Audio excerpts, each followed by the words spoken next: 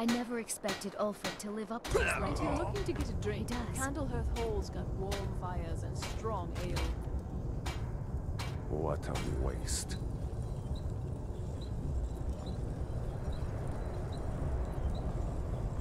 Cookware, knives... Damn shame.